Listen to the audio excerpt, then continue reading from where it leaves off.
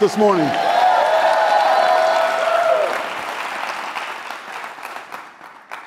I know, I know, this is a video glitch. It's not really me on Youth Takeover Sunday, right? But uh, I'll let my youth take over in me if I can somehow lift my check to the Lord.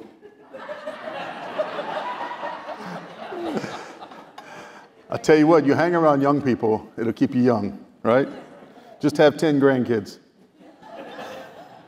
It'll keep you young. Amen. Days off will mean more to you, right? Anyway, some of you get. I got one laugh, Jim, Tim. Yep. Today is a special day. I love having the youth because they're not the youth of tomorrow. They are the church. They are the church of today, and uh, so we're we're excited to to see them consistently. They do what we do from a young age. From a young age, they preach the gospel, right? As a child, we teach them to preach the gospel, to, to love people and to care about people and be compassionate towards people. And uh, so I'm very thrilled. And for those of you didn't know, the first song we sang in worship today, did anybody recognize that song? Well, let me give you a little background. The, the guys wrote that at their VSI this summer, and they just finally finished producing it and getting it all ready. I think it's the first time on a Sunday that they've sang it, but didn't they do an amazing job? Yes. And uh, so it's exciting to see them and hear the depth of what they're writing. You know, it's not just fluffy stuff. You know, it's, it's, it's powerful, it's about vision, it's about purpose. Why? Because there's depth in our children, there's depth in our kids. And if your kids are not involved, I encourage you, don't let them make the choice. Yeah, obviously they need to choose, but so many times we, we as parents, we, we give up so much of what we need to. We're called to train them right? Every champion needs a good trainer. Doesn't matter how good you are, how gifted you are. All these football players are going to take the field today, right? And they're amazing. They get paid a lot of money for athletic ability, but every one of them is submitted to a trainer, someone that will tell them what they need to do and they obey. And same thing with your children. You're not raising children, you're raising champions. You're raising adults that are going to be the church of today. We need your kids activated today because the greatest battlefield for the church and for people's lives today is in our school system right? And we need to send our kids to school equipped. If you're not going to equip them, I would encourage you to take them out. If you're not going to equip them, take them out because they will be overtaken. Right? So you have to prepare your kids for what's to come. How do you do that? By keeping Christ in the center of your home. Amen? We have to remember what Jesus did. Jesus talked about remembering when he when he went to the table with his disciples and he said, As often as you do this, I want you to remember what I'm about ready to do for you. I want you to remember what happened on the cross. You know, just like today, it's 9 11. How many remember where you were on 9 11? How remember what was going on that day? And maybe some of you are too young to, to remember, but, uh, you know, we, I remember. I remember where we were. I remember shopping at Walmart South. I don't know why we were down there shopping that day when we have one right here. But we were down there shopping, and I remember just dropping the cart, looking up at the TV screens I used to have in there, and could not believe what I saw happening. And when it hit the Pentagon, I immediately, we came together, what? Our children. Because we just did not know what was going on. And I'm here to tell you today, you don't know how long you're going to live. You don't know when the Father will send, only the Father knows. Jesus himself does not know when Jesus is going to return. And that's a day worse than any 9 11 for some people. Those who don't know and those who have, who have said no to Jesus, those who have rejected his mercy, those who have rejected their purpose. He lets you choose. But remember what he said? He said there's life and there's death. He nudged us in the right direction. He says, choose life. Choose life. You have the right to choose, but here, hey, here's, here's what it's going to cost you. Understand the cost of your decision. Understand the cost of the things we allow to get into our children's mind, the things we allow to get in our mind. And I want to talk about that a little bit today, about the roots of life. What are you rooted in? Who do you hang around? Who's, who's affecting the, the, the fruit in your life?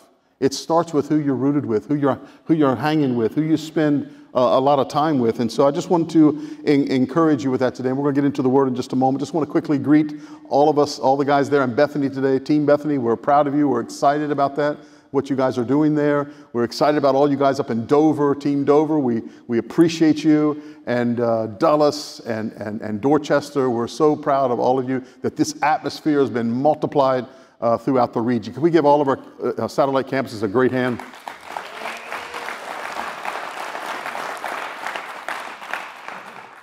And of course, our, our pastor, Pastor Bert Pretorius, who, who uh, founded 3C and uh, sent my wife and I to this region, to our own country, to do what we do today. And I'm so glad that we didn't just go, I'm glad that we were sent. Because when you're sent, you're covered. And I, and I want to speak to that for just a second. We see the world in chaos, we see independent people in chaos in the church. And I'm not here to knock them down. I'm not here to touch any anointed who has fallen, but by the grace of God, there go I. So it's not with a religious, pig headed, I'm better than you attitude, but I pray for them. Instead of yapping about people, talk to Jesus about those who have fallen and pray that God would restore them and bring them back to where they need to be. It doesn't matter the stupid decisions they've made. If we had all of our stupid decisions up on the screen today, we would be embarrassed. We would be embarrassed about what's put out there. And so and I know you, know you can think, well, they deserve it and they should never do that. You know, I, I deserve hell. In fact, all of us, the only, th- the only right you have is to go to hell. That's it.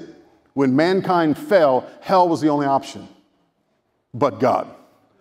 Amen. He stood up and said, No, not on my watch. He sent his son down here to redeem us from our decisions and give us an opportunity to choose again. He could not choose for us, but he made a way for us to choose again. Amen. So, so it's in the context of that thinking that I want us to go into today's message. It's in the context of eternity. There's a place called time and space is where we exist. It's what we know best. You know, it's the most valuable commodity you have. And that's the, some of the strangest thing for someone to say is they don't have time to serve God. They don't have time to do their purpose. They don't have time to, to walk out what He's asked them to walk out. You're telling the God who created you, and He is the creator of time, that you don't have time. And He's the one asking you to do this. It's, this is His letter. He's the one that's challenged you hey, this is the way to life. This is the way to fulfill purpose. This is the way to multiply your time back to you. And yet we have more value in our finances and our careers and our ambitions than we do the time we spend with knowing Him. Remember that's your first calling, men of the house. Your first calling is to be a good son, to be a good son to the Father. Ladies, you're, you're mothers of nations, a good daughter to God Almighty. That's our first calling, to be in relationship with the Father. The reason He created you was to dance over you. The Bible says He dances over you, He sings over you, He adores you. Even when you're in your greatest sin, He says, While you were yet sinners, Christ died for you. While you were creating your worst, see, Jesus gets a bad rap in this culture because they try to minimize Him to dead gods. Where they expect Jesus to coexist with people who are in the grave. He's out of the grave. He's sitting at the right hand of the Father. Don't ask Jesus to coexist with a dead God, a false God. Are you hearing what I'm saying today? And uh, so I know that puts you in a, in a, different bracket when you speak like that. But it, I don't care about the brackets of the world. What I care about is what God has asked us to do. I trust Him that if we will speak the truth, that people will be made free. It's only the truth that makes you free, and only the truth you know will make you free. Speaking the truth, telling the truth doesn't do anything for you. It's when you become the truth. What does that mean? Jesus is the truth. His life is the truth. And when you become in relationship with Him, it's there you experience the greatness that God has for you. So I want us to, to, to listen to this message, and, and I would very much encourage you to go back and listen to the previous message. I think we're on this 14 weeks, is it? 15 weeks, something like that. Three of the weeks just on mercy. Right? Isn't mercy a powerful thing? you know, to be merciful, to, to be able to, to be merciful to people. What does that mean? Take action, get involved in people's lives, help them get from where they are to where they need to be, right? And that's what gives you the, the strength to, to, to be what God has called you to be. So let's go quickly into this. The way to happiness and joy and peace is through mercy. You know, when, we, when, when God reaches his hand down to help us to get where we need to be, he gives us the grace. Mercy speaks to doing and, and getting to where you need to go. Grace speaks to, hey, you're not going to be penalized for that sin. Right? He, he's not going to he's not going to he's not going to punish you for that sin when you walk in his mercy, when you walk in his grace. Amen. I don't want to repreach that whole thing, but the way to misery is cruelty. Cruelty is the opposite of mercy. It's a cruel thing. You know, you see people stop in the car to pick up a turtle off the road. and then they have a bumper sticker that says they have the right to murder a baby. Got quiet in here. You see, we, we, we, we, we have a perverted thinking, and that's because we veered from the truth. We veered to, to more of a motivational thing. Hey, let's feel good. Let's leave everybody here feeling good. Listen, the call of God on your life will always interrupt what you're doing. Just like as a man. Who's the guy said she was a beautiful woman? Cole, where are you? That marriage is going to interrupt your manhood. Right? And I'm saying that from a positive point. Right? Thank God my wife interrupt, interrupted my stupidity 39 years ago. Right? I needed her in my life. And it's the same thing with a relationship with Christ. It will interrupt your pattern. A relationship with Jesus, sometimes it feels like it's dragging you down. No, it's, it's putting roadblocks because you're running straight for hell. And what he does when you come in relationship with you, he slows you down. Hey, whoa, whoa, whoa, whoa, whoa, whoa, look what you're doing. There's another day you totally wasted. You lose that day, you don't get it back. You lose five minutes, you don't get it back. You can lose a million dollars and get it back, but you can get any moment wasted back. It's just helping somebody. And so the word warns us Jesus is not cruel. He, he, he wrote this letter years ago, and he's warned us over and over again since the beginning of time how to come back to him. He's, we see his grace and his mercy. Even in heaven, there's implements of the tabernacle where God tried to give Satan an opportunity while he was still Lucifer to repent. And he said, No. God is not unmerciful. But there's coming a day where he stands, today he stands at the throne of grace. That's where he's at. He's at the throne of grace. What does the Bible say? Come boldly to the throne of grace. And it's urgent because God divided things up time. Time was never meant to be forever. Time and space is a temporary setting to prepare for eternity. And yet we treat time and space as it's the main deal. It's important during time and space that you do certain things and you enjoy it. It's a great gift. I love time and space. I love what God has done in my life. I love being married for 39 years. I love having three wonderful children, and they found three wonderful children. They got married, and now there's a lot of them. and I love every moment about that, but that's just a little taste, if you will, of what eternity is going to be like. That's just a little taste of how God the Father sees you. As you figure things out in life, it makes him laugh. I heard that our, one of our grandsons learned how to get out of the crib this morning. Early this morning, I was just hearing a little bit of the story before I came up. How he went through the house, he's playing music on the phone, helped himself to a mac and cheese that you take the top off and then put it in the microwave. This kid's, you know, he's still in the bottle a little bit. He's putting mac and cheese in the microwave. While mama's getting ready for church and she thinks it's the other kids running around the house. I don't know if I'm getting all the facts right, but, but God gets a laugh out of that. I'm sure she didn't like the mess he made, but she didn't disown him as a son. And I know it sounds funny but your life is the same way with the Father in heaven. He sees all the mistakes you've made, how you could have burned the house down putting something flammable in a microwave. He's seen the mistakes we made along the way, but He doesn't do away with you. You're His son, you're His daughter. Come on, say, Lord, I need your mercy. I'm grateful for it. He'll never stop celebrating you.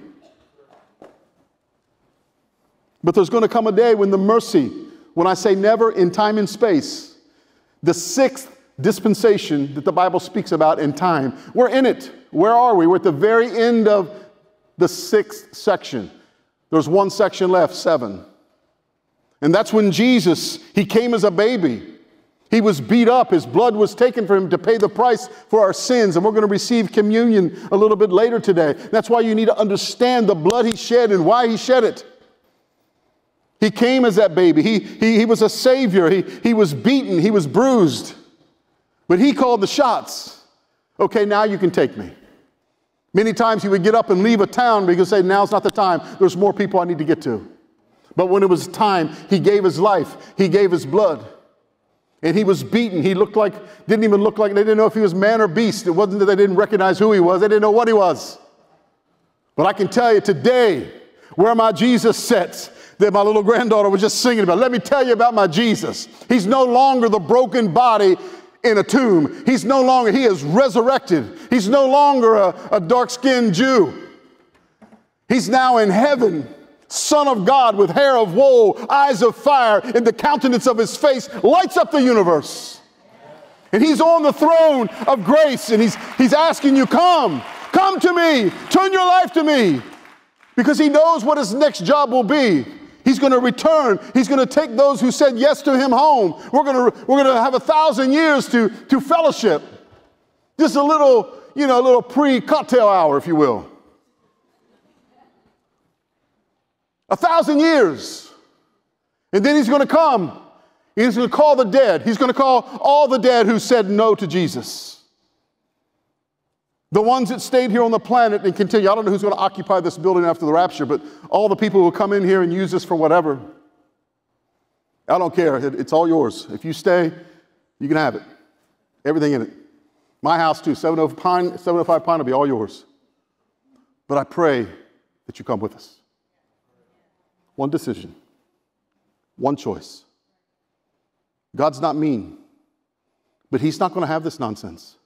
He's not going to have his children stay in torment all their life because some of you have been through hell. Some of you are going through hell right now. You're going through distractions. You're going through torment. You're going through loss of life, all kinds of things that is a result of the sin of mankind. And he's letting this thing play. He's letting us have our will. He's letting us have our choices. But he's still in the game. He's still waving. Hey, there's a choice over here. This choice is life. Come on, I know the crowd's loud over here. It's pulling you to a lot of different places, but Jesus Christ is still waving his hand. Hey, sons, hey, daughters, come on home. Come back to life. Come back to purpose. Because he knows what his next job is. After that thousand year reign, he's going to come back and he's going to, he's going to, he's going to deal with the dead, but he won't be on the throne of mercy. The Bible says he'll be on a throne of judgment. And everybody who said no, all the arrogance and all the excuses that we come up with to say no to Jesus and do it our way. How we justify our sins. When you say no to Him, eventually the mercy expires.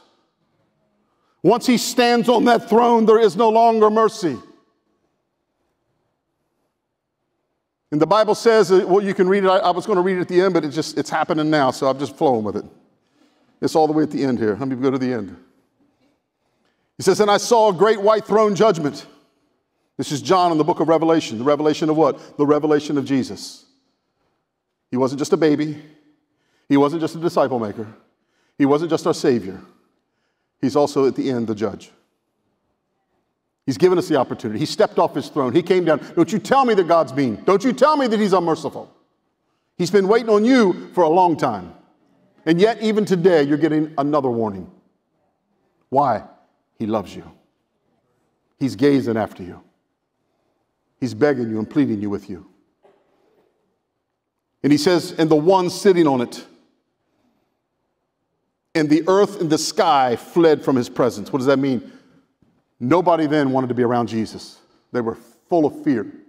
Because you see, once Jesus' presence leaves this planet, once the Holy Spirit leaves and he leaves everybody to their own demise, once people have said no enough, he's going to extract. In fact, the Bible says he's delaying that coming so that some of us can make the right decision. We're in delay right now. We're in what you call overtime. God's holding it. It's kind of like a soccer game. You never know when the overtime's over. The clocks are never right in high school games. It drives me nuts. I'm like, what is up with this soccer stuff? I, I, was at a game watching one of our kids, one of the guys from Dorchester play, and I, I was texting Joe. I said, What's going on? Is this halftime? What, what are they doing? No, it's double overtime. Okay, somebody needs to score. Okay, why does it say two minutes on the clock and we have 10 minutes? I, I don't understand. What is that? You know, and, and here's the thing it's the same thing with the kingdom of God. We don't know the time. Because here's what we would do if we knew the time, we would do what we want when we want, and then just before we, kind of like homework. My senior year in high school, I went to my English teacher said, You and I both know I'm not graduating, right? What must I do to make it happen? He said, You need at least a D or a C on your final exam. I could do that. I went home and I studied, I studied, I studied, prepared for that exam. Got a B plus. Come on, somebody. I'm not as dumb as you think I am. I was just lazy. I was sharing with some of the guys starting Bible school. I said, you know, Dr. Ron Cottle gave me my first F in college. He failed me. He said, I don't know what school you went to, but that's not how you write a paper. I guess I shouldn't have been copying my brother's papers and turning them in. Maybe I would have learned something. He left all of his term papers home. I'm going somewhere with this. And I found him, and I would dummy him down to a C because he got all A's. He just breathed, he got an A. I don't know. He got it all. And uh, anyway, but that's how it is in our faith. We're, we're writing other people's papers, we're parroting what we've heard someone say. But do you know him? You drop in Jesus' name. Oh, in Jesus' name. Who is he to you? Hmm? Take five minutes to just sit and do nothing else but listen to him. How do you listen to Jesus? Read his word and then be quiet. Turn off the music and listen. He really wants to know you, He will speak to you. Amen? Okay, let me just go back to the beginning again. I'm going to cut out some stuff. I want you to say th- three things, and I want to give credit because we live in a Sue happy world. Um, excerpt from Momentum. It's a book written by Colin Smith. Not, I don't know anything really about the guy, but I ran across this book. I, I've been reading it and listening to it. It's about the Beatitudes. And I liked how he wrote this down. And he says the Beatitudes show us how to make progress. There's a definite order in the Beatitudes, and each one flows from the other that went before. And, and he, he described about how a plant, roots, the shoot, and then the fruit. Come on, say root, shoot, fruit. The Beatitudes do more than describe a blessed life, they give us the roadmap. Remember, this was Jesus' first sermon. It was a foundational thing. And how many realize no matter how old you get, Cole, foundations are not old fashioned? My suit may be old fashioned, and it's not tight enough, or the pants aren't up to here, right? Fashions change, you know, is, is, you know, everything's just different, you know. But, but, but at the end of the day, there's nothing wrong with it. I'm just having some fun with the youth. My, my point is, is the foundation of who Christ is. And you could see today by you saw the young people up there with their, their contemporary and their modern dress and apparel, you know, but, but the foundation of what brings us here is the same. Come on, somebody. The blood of Christ that was shed, it's the same for all of us. You can wear your suit, you can text to give, or you can write a check. The blood of Jesus is the same. Are you hearing me today? And so it's important to understand that you grow. Actually, we could learn a lesson, couldn't we, Paula? Because somebody got a hold of a, her signature and a check and wrote some checks on the church account. They got away with $10,500. So maybe we need to listen to what Cole's saying. Those checks are dangerous. we were sitting up one night, do you know a Julian? A Julian? Julian who? The next thing I know, blip, blip, blip, blip, we realize we've been hacked. But see, here's the thing they think they're getting away with it. And many of us, we think the same thing in our, our life because we, we pray a prayer or we attend church or we, we give something away, that that's our salvation. And that's why Jesus said very clearly that if you don't know me, you're not going to spend eternity with, eternity with me. You're, you're not going, no, no, depart from me, he says. I don't know you. Yeah, but I did this in your name. Yeah, you dropped my name all over the place. And I honored my name, and people did get saved. I honored my name, and people did get healed. But I still don't know you. You're the one that spoke my name, but you don't even know me. The fact that they read the Bible one day and they had faith in me and you spoke my name, yes, they received that miracle. But it had nothing to do with you, Mike Rittenhouse. It had nothing to do with your lying, cheating ways. I don't know you. Because I can tell you, when I prepared this message, it smacked me in the face. I don't want to take a chance for a moment to stand before my Lord and him say, you know what? You're a fake. I don't know you. Amen. Same thing with, I don't want my wife to, when I, when I got married 39 years ago, I go home every night. I speak to her every night. I spend time with her every day. And when I go out in public, I, hey, this is my wife. You see a Cole, my beautiful fiance. and this guy down here grinning like a chessy cat. He's getting ready to get married. Mr. Producer. Huh? But it's not a marriage if you don't go home together. It's not a relationship if you don't do life together. Sunday's not enough. Hey, babe, I'll see you next Sunday. It's where I met you, it's where I left you. I'll see you next week. Huh? Shoot, boy, that'd be a price to pay. Not coming home. And so don't give God a bad rap because he put rules to the game. What would a soccer game be without the sidelines? What would a football goal being made without the goalpost? I watch. I, I like watching those MMA reels because I, I, guess I got a short mind on the, the quick knockouts. And I watched this one the other day. This guy's running around the ring, just running from the guy. I'm like, dude, you're in the wrong sport. You should be playing soccer. and then when the guy got a hold of him, I understood why he was running. I'd have ran too, right? And he's like, you know. And anyway, so it's it's it's it's the rules are there to make things great, not to mess it up. God loves you. And that's where it has to start. That's what he's asking of us. Come on, know me. I don't want anybody to perish. It's not his will that anyone should perish, but many will because they refuse. They refuse. It's who they hang around. What was the first one? They're poor in spirit. Well, when you recognize that you're poor in spirit, what are you supposed to do? You mourn it. You mourn the fact that you don't have what you need. But you don't mourn to death, you mourn to life. And the mourn, the mourn that you do, the mourning that you do, it takes you to a place of meekness. In other words, you don't give up your strength, you just play by the rules. You submit to the process, you submit to the training, you submit to the work, you submit to what has to happen. On game day, you show up, you don't go to another place, right? If you're playing today, you know, Flacco's playing, he, he shouldn't show up in purple. He's wearing green now. When you show up in life in the community, do you show up with Jesus' uniform or do you show up with whatever you want? Do you bring him with you? Do you introduce him? This is helping somebody. That will take you to life. Being meek does not mean being weak. It's I have submitted everything I have to what I'm in. I've submitted my life to Christ. Every asset, every everything that I could possibly have, I don't give that up. I just submit it to the cause that He has for me and that He has for you. And so the roots grow to shoots, and out of the root comes the shoots. And careful what you're rooted in, careful what you hang around. The fourth beatitude that we talked about was to hunger and thirst. That's the fruit of the first three.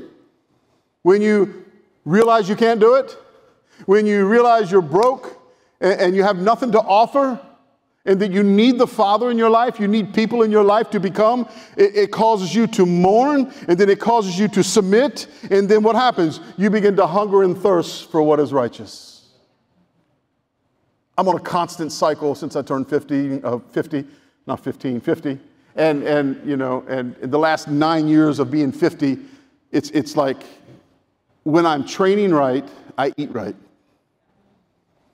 You know, when you go to the trouble sweating, and working and, and doing what you do need to do just to stay healthy. It's not even about winning a game, it's just getting through the day, right? I want to be healthy enough to go through a day and hang out with my grandkids and, and not have to go to bed at seven. That I can still function. And, and in that process, there, there's an understanding that if I'm training right, if I'm doing the right things, if I'm showing mercy, if I'm engaged in what God has called me to do, the exercise, then when I go to eat, I'm going to hunger and thirst for fresh, good water. When I'm eating right, the only thing I want to drink is water and Jesus juice. That's coffee. That's all I want. But you start craving. Remember the days of going through the drive through, getting two very happy meals, right? And just woofing it down and keep on going and working. Suddenly your body can't handle that and it starts showing up in places right, in your joints and in your brain and uh, everything. It just messes you up. I want to tell you today you can turn it around. You can turn life around by what you take root in. What you're absorbing into your spirit, it can take you to a place. And that's what happens. You become hungry. You're hungry and thirsty for more of Jesus. Oh, I just got to know him more. Oh, that training, that sweating I did. Oh, I just need to know Jesus more. I just need to walk with him some more. I don't want to just drop his name. I want to say, hey, here he is. Here's the fruit of my life. Amen. Come on, give Jesus a great hand of praise.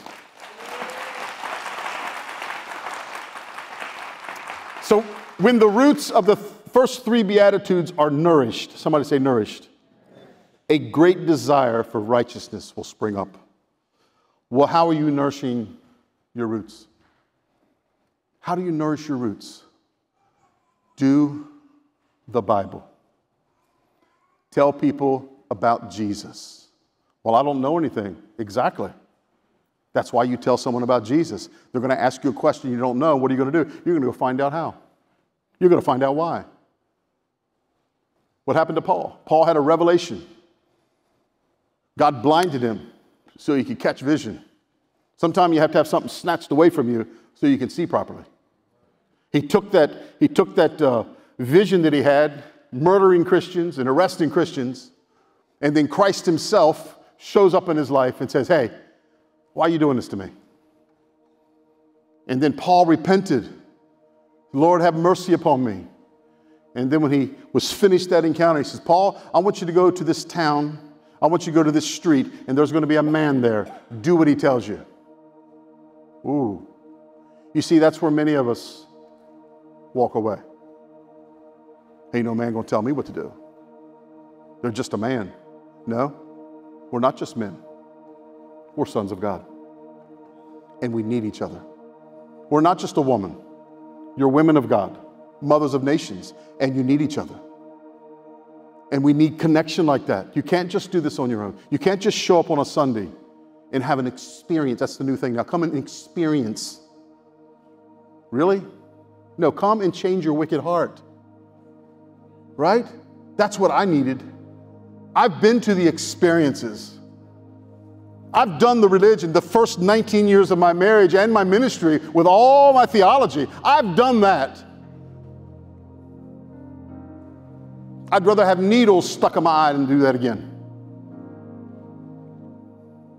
Because it brought death, destruction. I hurt people, hurt my family by being a big fat fake. More emphasis on the fake than the fat. I'm just trying to be real with you guys today. I'm not sitting at a place that's unachievable. We just that far apart. Just far enough for me to reach my hand out and grab yours. And that I'm hoping when you leave here today, you'll reach a hand out and grab his. Right? We're all lost in need of a loving God. Amen? We need this, and we need to know. Here's what Jesus said I made the statement that if your heart Actually, I didn't say this yet. I wrote this down this morning. Do not be deceived. If your heart does not ache for what causes God's heart to ache, then you don't know Him. This message about being ready for eternity is what makes God's heart ache. It's why He's held back the return of Jesus. Because many people have made up their mind. People have already decided but just maybe your life could make a change. Not your theology, your life. When they say, hey, you're going to tell me about Jesus, what do you know? I say, all I know is the pieces in my heart. Sometimes that's all the theology you need because people are looking for peace. And peace is the byproduct of recognizing you have nothing. Peace is the byproduct when you seek His righteousness, when you seek His goodness. Your goodness, all your goodness does is make you look at yourself. You become self conscious, and all you see is all the sins you can, all the lies that you have made, and all the lies you're trying to keep up. All the pretending. Oh, it's so tough to pretend. The most miserable people in the world are not those who don't know Jesus. See, here's the thing I believe that people who've never heard the gospel preached will be in heaven where some who have heard it preached will not. Why? Because He's a just God. He's not going to judge you on what you don't know. God's not stupid. I've been in places where the gospel has never been preached, and here's what I see they don't know the Bible at all, and this is what is there. They know not to touch another man's wife. How do they know that? They know that it's wrong to take what doesn't belong to you. How do they know that? Because all of us, God has put in your DNA who He is. All of us know that there is something. We hear the nonsense higher power, and I get it. That's, that's people who, who, who, who, who are created by God, and they know there's a higher power, but they want to deny that it's Jesus. Why do people deny Jesus? The price. The price. The only reason I don't drive a Lamborghini, the price. I'm not going to pay it. I won't even buy a new Chevy right now. The price. I'm going to stay in my little Honda for a while. I just will not pay more for a vehicle than I paid for my house the first time I bought one. And I'm 59 years old. I could do that if I wanted to. I'll put myself in a box here now. Are you hearing me? The price.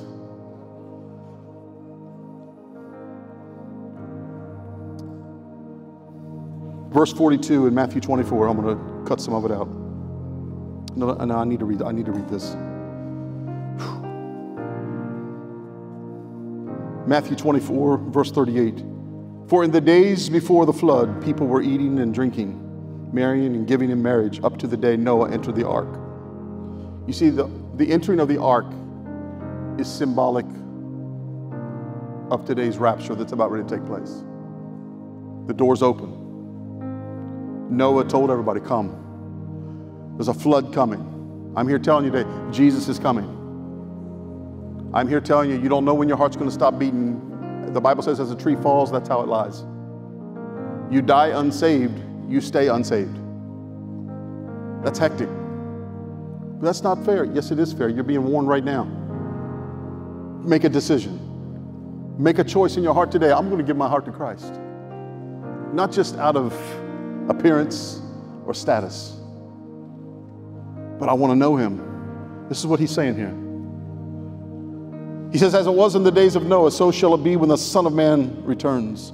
For in those days, and I, and I read that already, and Noah entered the ark, and they knew nothing about what would happen until the flood came and took them all away. That is how it will be at the second coming. People have been warned so much about Jesus, especially here in America. Americans, we have no excuse. We have been told. We have been warned over and over and over again. It's funny, after, it's not funny, it's the wrong term. After 9 11, people started going to church again like crazy. And when I say church, I use that word kind of loosely because that includes a lot of nonsense. And, and, and we saw that increase. And then almost immediately, the, the politicians singing God Bless America on the footsteps. They, won't, they wouldn't do that today. You know, they, they just, it's changed so fast. God, we need you in a time of crisis. But a crisis will never cause you to come to Christ. It's been proven. The flood, it didn't matter to people. Telling people about the rapture, it doesn't matter. 9 11 doesn't matter. On the battlefield, yeah, I'll serve Jesus. Come home, do whatever. People, it comes to a decision. What do you want your children to have? What do you want this next generation to have? And so, what does he said here? Two men will be in the field, one will be taken, the other left. Two women getting their nails done. Not too many people grind corn anymore to make bread, right? So I'm just changing it. Two women are going to be out doing what women do when they go out and get their nails done. And one's going to be getting her nails done, the other one's just going to disappear. Her ring's going to fall on the table. She's gone her ring, her clothes, her shoes, even the polish that was on her nails on the floor. What, is, what just happened? And yet, the person who sees that, they've been in church, they've heard about the rapture. I have a theory of what the news media is going to use. They're going to use global warming.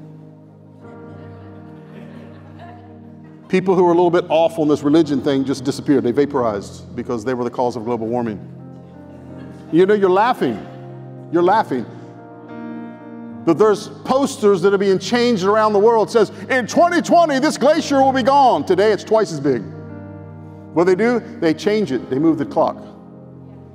You see, that's what happens in time and space when you have no real power. When you have a false power, a dollar or fame or reputation. We're busted, guys. All we have is Jesus. And our hope needs to be in Him. And He wants you to have things, He wants you to enjoy life. I'm looking forward today to sit back and watch football with family and, and just enjoy family. But first is Jesus. Jesus, then football. Jesus, then coffee. Right? Jesus, right? Seek first the kingdom of God and his righteousness, and all these things will be added unto you. How many need peace in your life today? I've run out of time. Can we just stand to our feet? And I'm going to read this last verse that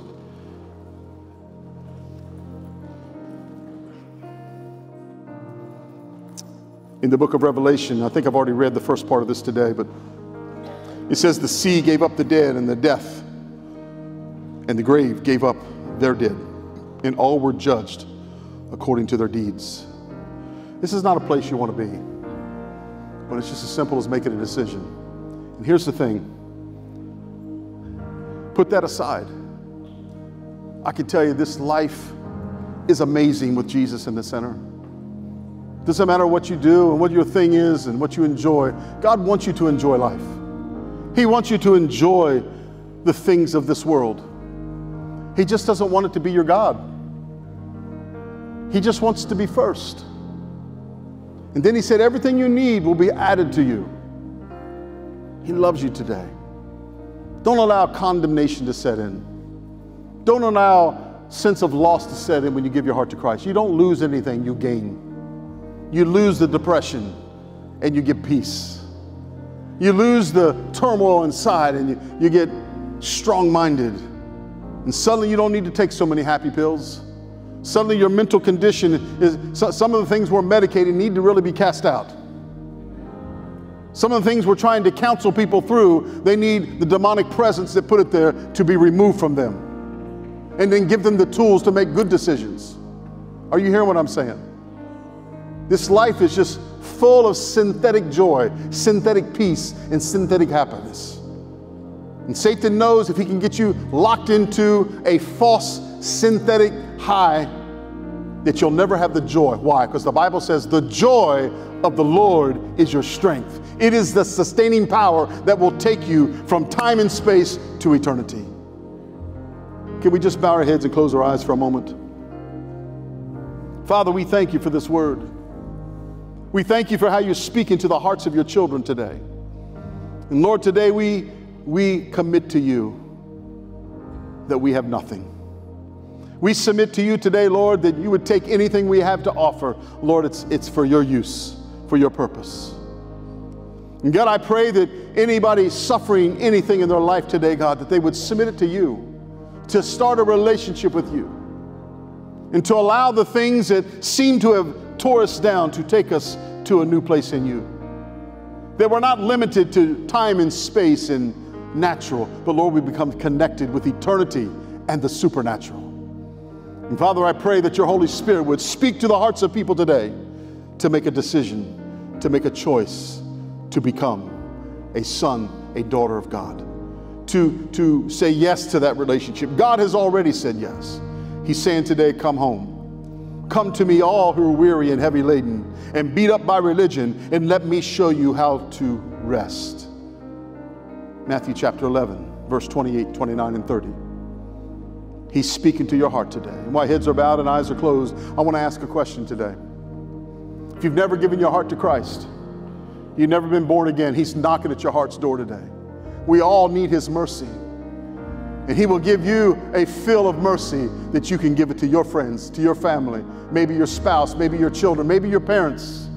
He wants you to be that conduit of His love to this world. He wants to flow through you, that as He flows, He can heal you today.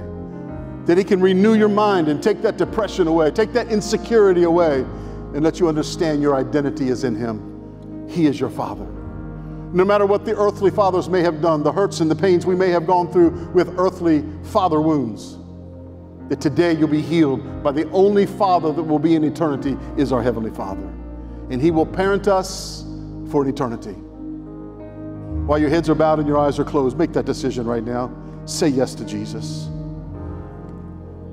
Thank you, Lord. Again, while heads are bowed, I want to ask you this question. If you did pass right now, do you know where you would go?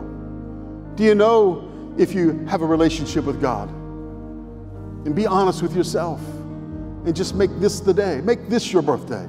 Make this is the day that you were born again. See, when you were born of your parents, it gives you the right to walk the planet. But if you want to walk in eternity, you must be born again. And the culture's argument is always, hey, I was born this way. Sure, we all were. We were all born into sin.